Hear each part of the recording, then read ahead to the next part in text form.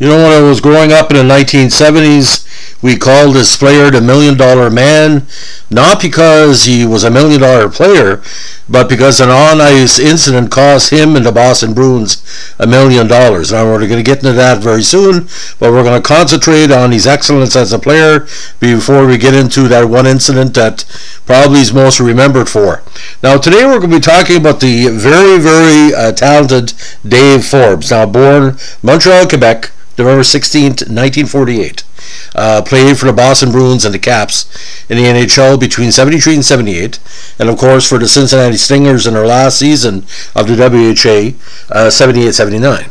Now, Forbes first came to major prominence uh, for Lachine Maroons of the MMJHL in 67, where he had four goals and four assists for eight points.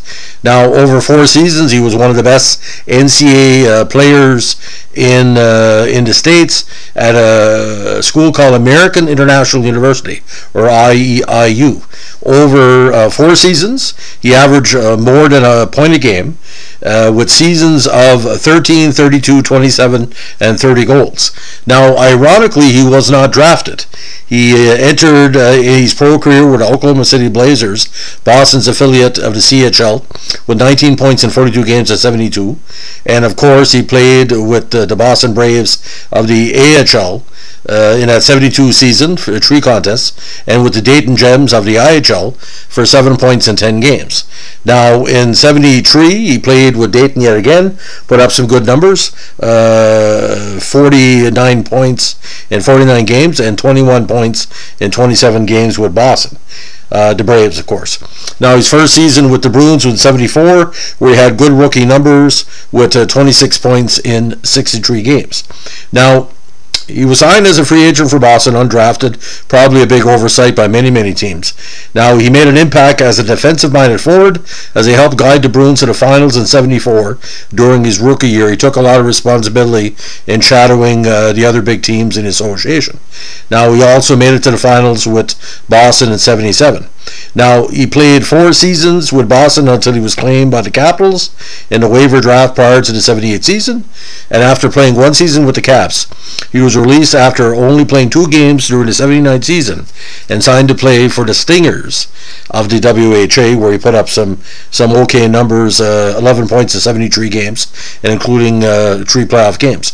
Now, Forbes' incident, let's get into this very quickly. Forbes was never known as a dirty player, but he was eventually charged with aggravated assault in Minneapolis in 75 after butt ending Henry Bouchard, which was kind of an enforcer uh, skater back in the day, uh, he uh, butted in his eye socket in a game against the hometown Minnesota North Stars, leaving Bouchard with limited vision in his right eye.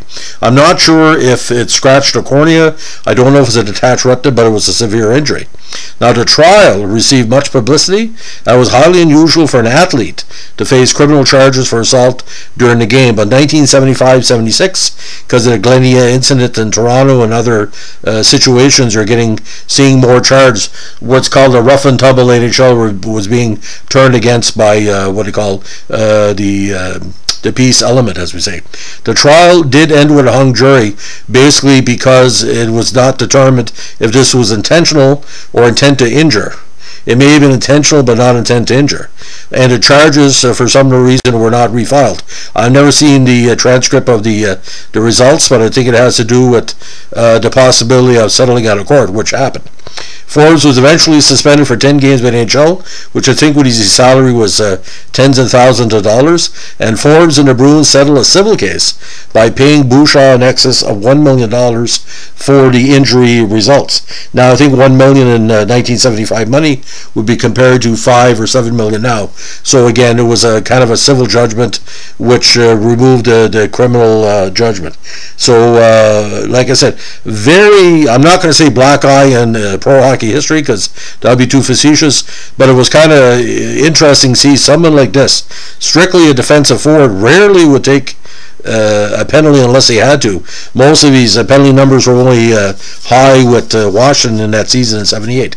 Now, final NHL totals 128 points in 363 games, including 64 uh, goals, and uh, scored only one playoff game one playoff goal in 45 games with Boston, and that came in 1976. And um, his playoff totals uh, were more defensive.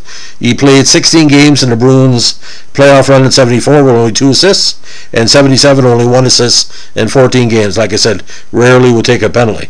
WHA totals six goals, five assists for 11 points in 73 games, and one assist. Uh, in uh, in three playoff games.